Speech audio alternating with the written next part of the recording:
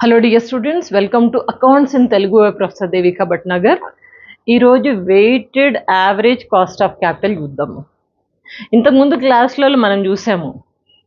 ఇది ఏం subject financial management తెలుస్తుంది కదా? ఇంతకుముందు క్లాస్లో చూసాము. ఏంటది? కాస్ట్ ఆఫ్ డెట్ క్యాలిక్యులేషన్ చూసాము. Cost of preference shares cost of equity shares ఈ మూడు క్యాలిక్యులేషన్స్ చూసాము. జనరల్గా ఏదైనా కంపెనీ ఇష్యూ చేస్తుంది అంటే కనుక ఏమి ఇష్యూ చేస్తారు? షేర్స్ కానీ డిబెంచర్స్ కానీ. షేర్స్ అంటే preference shares equity shares and debentures. ఈ మూడే ఇష్యూ చేసి వాళ్ళు కంపెనీకి కావాల్సిన ఫండ్స్ని అక్యుములేట్ చేసుకుంటారు కదా. అయితే దీంట్లో వీళ్ళు అక్యుములేట్ చేసుకున్నప్పుడు దాని సపోజ్ ఈక్విటీ షేర్స్ ఒక ట్వంటీ పర్సెంట్ ప్రిఫరెన్స్ షేర్స్ ఒక ఫార్టీ పర్సెంట్ అండ్ ఇంకా డిబెంచర్స్ ఒక ఫార్టీ పర్సెంట్ అట్లా వాళ్ళు అక్యుములేట్ చేసుకున్నారు అనుకోండి వాటికి సంబంధించిన వెయిట్ ఎట్లా ఉంది? దేనికి ఎంత వెయిట్ ఎంత ఎంత వెళ్తుంది అనేసి దాన్ని ఈజీగా క్యాలిక్యులేట్ చేసి టోటల్గా ఆల్ టుగెదర్ ఈ మూడు ఇష్యూ చేసాము. Preference shares equity shares debentures ఈ మూడు ఇష్యూ చేసాం అన్నిటికి కలిపి weighted average cost of capital total అనమాట అది అది మనం క్యాలిక్యులేట్ చేయాలి. అది ఎట్లా వస్తుంది? మనకు మూడు తెలుసు కదా calculation cost of debt cost of preference shares cost of equity shares ఈ మూడు తెలిస్తే ఇది ఈజీనే ఏం లేదు సింపుల్ ఒక్క ఐదు పది నిమిషాలు ఫోకస్ చేయండి మీకు మొత్తం అర్థమైపోతుంది. ప్రాబ్లంతో అర్థం చేయిస్తాను మీకు. ఇక్కడ చూడండి ప్రాబ్లం ఏమంటున్నా అంటే కూల్గా అర్థం చదవండి ఏం లేదు టెన్షన్ ఏం లేదు. The equity shares of a company are quoted as hundred and five rupees equity shares అట హండ్రెడ్ అండ్ ఫైవ్ రూపీస్గా చెప్తున్నాడు. అంటే ఒక్కొక్క equity share the company plans to declare a dividend of ten rupees per share cost ఎంత? Equity shares the hundred and five rupees అయితే company ఏం plan చేస్తుందట? Company planning to declare a dividend of ten rupees per share ten rupees per share ఇద్దామని అనుకుంటుంది. ఇది ఒక point గుర్తుపెట్టుకోండి. తర్వాత the growth rate of dividend is five percent మనం దేని గురించి మాట్లాడుతున్నాం? ఈక్విటీ షేర్స్ ఈక్విటీ షేర్స్లో మామూలుగా వాళ్ళు ఎంత ఎంత ఇద్దాం టెన్ రూపీస్ ఇద్దామనుకున్నారు. కానీ మళ్ళీ గ్రోత్ రేట్ కూడా డివిడెంట్ మీద ఫైవ్ పర్సెంట్ ఇద్దామని అనుకుంటున్నారు. గ్రోత్ రేట్ ఎప్పుడు ఇద్దాం అనుకున్నా కానీ ఈక్విటీ షేర్స్కి మనకు ఫామ్లో ఎప్పుడైనా గుర్తుపెట్టుకోండి. Dividend by market price plus growth rate into hundred జనరల్గా అయితే డివిడెంట్ బై మార్కెట్ ప్రైస్ అంటాము. కానీ ఇక్కడ గ్రోత్ రేట్ అన్నాడు కాబట్టి dividend plus by market price plus growth plus G into hundred ఇది ఫార్ములా ఓకే ఇక్కడ దాకా మనం ఈక్విటీ షేర్స్ గురించి మాట్లాడుకున్నాం. తర్వాత tax rate is fifty percent అన్నాడు. ట్యాక్స్ రేట్ ఎక్కడొస్తుంది? మనకు ట్యాక్సెస్లో ఎక్కడొస్తుంది? ఎప్పుడైతే మనం డిబెంచర్స్ ఇష్యూ చేస్తామో అక్కడ మనకు ట్యాక్స్ బెనిఫిట్ ఉంటుంది. ఆ ట్యాక్స్ బెనిఫిట్ దేని మీద? డిబెంచర్స్ మీద మనం ఇవ్వబోయే ఇంట్రెస్ట్ మీద ట్యాక్స్ బెనిఫిట్ ఉంటుంది. కాబట్టి ఈ ఇన్ఫర్మేషన్ మనకి cost of debentures cost of debt క్యాలిక్యులేషన్లో use అవుతుంది. ఓకేనా and calculate WACC weighted average cost of capital WACC అంటే weighted average cost of capital when the capital structure of the company as on thirty first March twenty twenty shows the following details company capital structure ఇట్లా ఉందంట structure అంటే ఏంటి వాళ్ళు ఎట్లా accumulate చేసుకుంటున్నారు ఫండ్స్ని equity shares ద్వారా nine lakh తీసుకుంటున్నారు preference shares ద్వారా సిక్స్ ల్యాక్ డిబెంచర్స్ ఇష్యూ చేయడం మూలన ఫైవ్ ల్యాక్. ఇట్లా డిఫరెంట్ డిఫరెంట్గా తీసుకున్నారు. ఈ మూడు కలుపుకొని మనం క్యాపిటల్ స్ట్రక్చర్ అంటాం. దీని గురించి డెప్త్గా ఇంకొక నెక్స్ట్ వీడియోలో చూద్దాము. అర్థమైందా?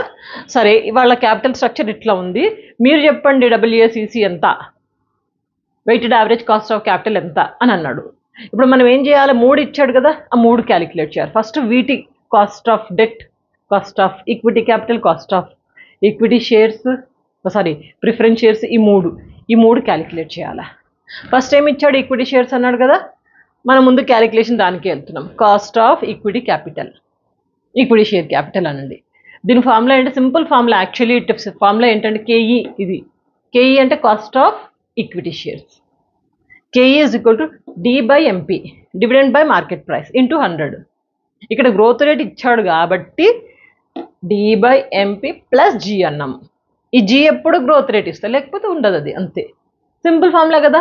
D by MP into hundred growth rate ఉంది కాబట్టి D by MP plus G into hundred ఇది ఫార్ములా దీని ప్రకారం చూడండి డివిడెంట్ డివిడెంట్ ఎంత ఇద్దామనుకున్నాడు టెన్ రూపీస్ కదా ఇక్కడ ఇచ్చాడు కదా? Ten rupees per share so ten rupees వేసాను. Dividend by market price market price ఎంత అన్నాడు? Company quoting one hundred and five rupees కదా market price so hundred and five వేసాము. Plus growth rate growth rate ఎంత? Growth rate five percent five by hundred అంటే ఎంత అవుతుంది? Zero point zero five add add growth rate zero point zero five ఇది మొత్తం బ్రాకెట్స్లో బట్టి ఇంటూ హండ్రెడ్ ఈ క్యాలిక్యులేషన్ సింపుల్ క్యాలిక్యులేషన్ చూస్తే ten by hundred and five అంటే zero point zero nine five వచ్చింది. దీనికి ఇది యాడ్ చేస్తున్నాము ఇంటూ హండ్రెడ్ ఈ మొత్తం క్యాలిక్యులేషన్ చేస్తే fourteen point five two percent వచ్చింది. ఇదేంటి? Cost of equity capital KE cost of equity capital వచ్చేసింది కదా next cost of preference shares చూద్దాం. KP cost of preference shares KP ఈ ఫామ్లో కూడా చాలా ఈజీ డివిడెంట్ బై ఎన్పి ఇక్కడ ఏంటి? Dividend by MP market price అంటాము. కానీ ఇక్కడ డివిడెంట్ బై నెట్ ప్రొసీడ్స్ అంటాము. మార్కెట్ ప్రైస్ ఇక్కడ తీసుకుంటాము. ఇదేంటి? Net proceeds dividend by net proceeds into hundred dividend ఎంత ఇక్కడ చూడండి? మనం ఏది క్యాలిక్యులేట్ చేస్తే ప్రిఫరెన్స్ షేర్ క్యాపిటల్ కదా ఇక్కడే ఫోకస్ చేయండి. మనకి ఇన్ఫర్మేషన్ మొత్తం ఇక్కడనే ఉంది. ఈ లైన్లోనే ఉంది. డివిడెంట్ కావాలా? డివిడెంట్ ఎంత? టెన్ పర్సెంట్ ఇక్కడే ఇచ్చేసాడు కదా. Ten percent on what ten percent on six lakh six lakh మీద టెన్ పర్సెంట్ వేస్తే సిక్స్టీ థౌజండ్ ఇది ఇక్కడ మీకు బ్రాకెట్స్లో చూపించాను. సిక్స్ ల్యాక్ మీద టెన్ పర్సెంట్ వేస్తే సిక్స్టీ థౌజండ్ ఇది సిక్స్టీ థౌజండ్ ఏంటిది? డివిడెంట్ కదా. So dividend sixty thousand divided by net proceeds అంటే మొత్తం షేర్ వాల్యూ ఎంత? నెట్ ప్రొసీడ్స్ ఎంత? సిక్స్ ల్యాక్ సిక్స్ ల్యాక్ వేసాను ఇంటూ హండ్రెడ్ ఈ క్యాలిక్యులేషన్స్ మొత్తం చేస్తే మనకు టెన్ పర్సెంట్ వచ్చింది. Cost of preference shares KP ten percent వచ్చిందా? Next cost of debentures cost of debentures ఆ క్యాలిక్యులేషన్స్ కాస్ట్ ఆఫ్ డిబెంచర్స్ అంటే కేడీ ఫార్ములా చూడండి ఇక్కడ D by NP into hundred అన్నాం కదా. ఇక్కడ కూడా ఇక్కడ ఏంటంటే డివిడెంట్ అన్నము. ఈ రెండు చోట్ల డివిడెంట్ అన్నాము. ఈ రెండు చోట్ల డివిడెంట్ ఎందుకంటే ప్రిఫరెన్స్ షేర్ హోల్డర్స్కి ఈక్విటీ షేర్ హోల్డర్స్కి ఇచ్చేది డివిడెంట్ కాబట్టి. కానీ డిబెంచర్స్ దగ్గరకు వచ్చేసరికి వీళ్ళకి డివిడెంట్ ఇవ్వరు వీళ్ళకి ఇంట్రెస్ట్ ఇస్తారు. కాబట్టి మనకు ఫార్ములాలో interest by NP into hundred actually D by NP into hundred కదా?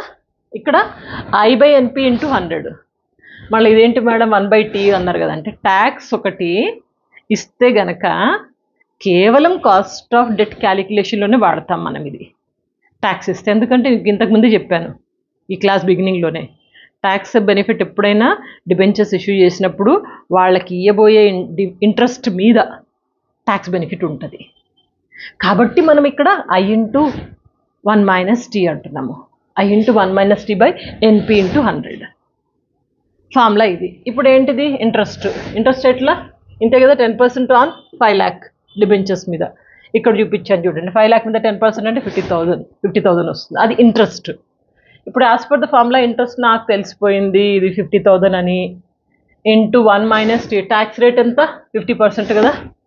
ఫిఫ్టీ బై హండ్రెడ్ వేస్తే జీరో పాయింట్ ఫైవ్ జీరో వస్తుంది. అది వేసాను నేను ఇక్కడ. Divided by net proceed. Net proceed total value of the debentures ఎంత? ఫైవ్ ల్యాక్ ఫైవ్ ల్యాక్ వేసాను into hundred.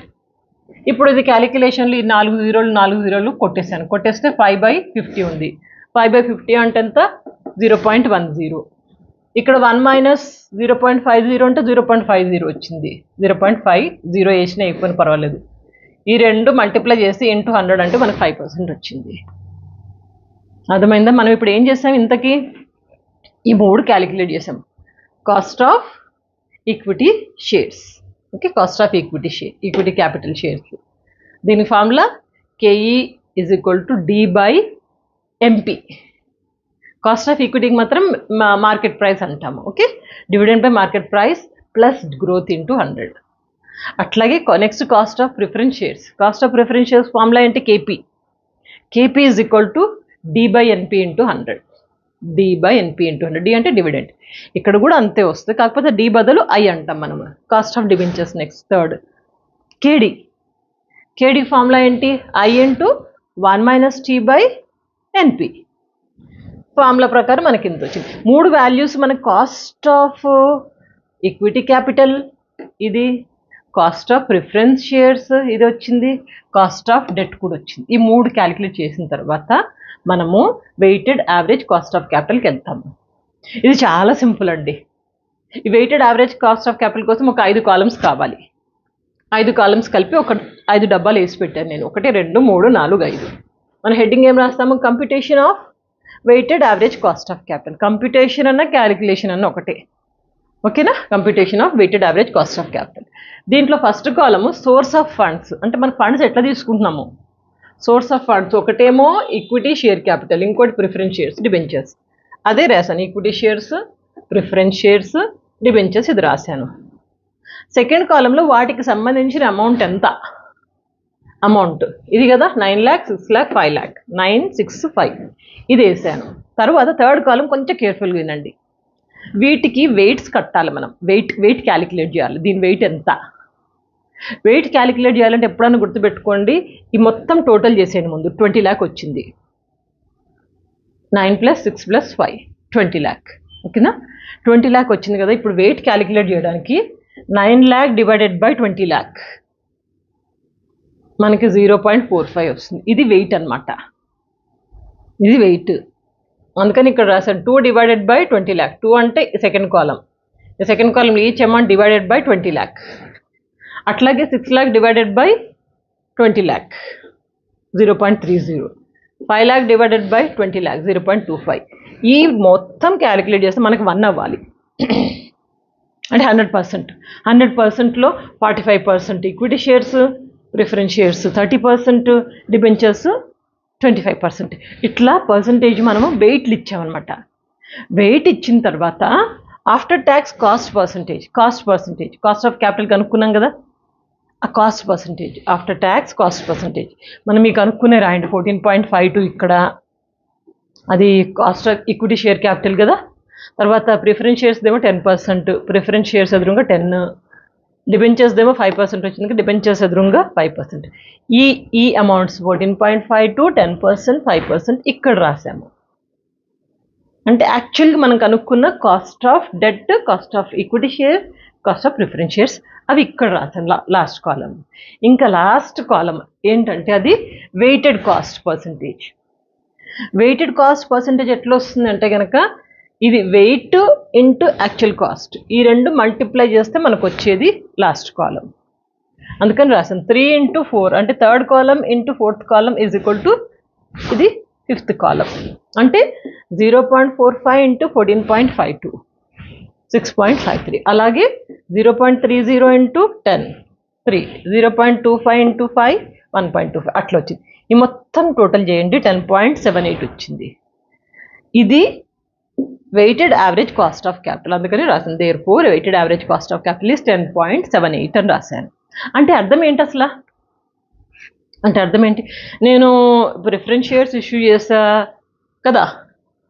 Equity shares issue చేసా డిబెంచర్స్ ఇష్యూ చేసా అన్నీ ఇష్యూ చేశాను. అయితే మొత్తానికి ఇప్పుడు మనం వెయిట్ ఇచ్చుకుంటూ క్యాలిక్యులేట్ చేసి చూస్తే మొత్తానికి all together ten point seven eight వచ్చింది అంటున్నాము. అంటే ఆల్ టుగెదర్ నాకు ఎంత కాస్ట్ పడింది? వెయిట్తో ప్రకారంగా చూస్తే కనుక ఇంత పడింది. ఈ మూడు కలిపి విడివిడిగా అయితే మనకు తెలుసు ఇంత వచ్చిందనేసి fourteen point five two ten five percent వచ్చిందని విడివిడిగా తెలుసు. కానీ అంత కలుపుకొని మూడింటి కలిపి యావరేజ్ వెయిట్ తీసుకుని చేస్తే కనుక ఇంత మనకి కాస్ట్ పడింది. Ish by issuing the shares preference and equity by issuing the ఇవన్నీ ఇష్యూ చేసినందుకు మనకి ఇంత కాస్ట్ పడుతుంది అని అర్థము. ఆమె క్లియర్ స్క్రీన్ షాట్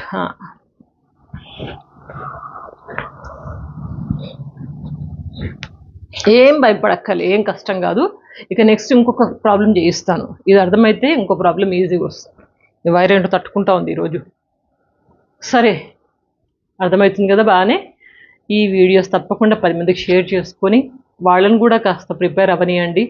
సంతోషపడతారు. అందరూ కలిసి ప్రిపేర్ అవ్వండి. ఈడ ఎవరు కాంపిటీషన్ ఎవరు తోపులు ఇది అది ఏం లేదు. అట్లా సెల్ఫిష్గా ఉంటే నేను కూడా మీకు ఇన్ని పాఠాలు చెప్పను.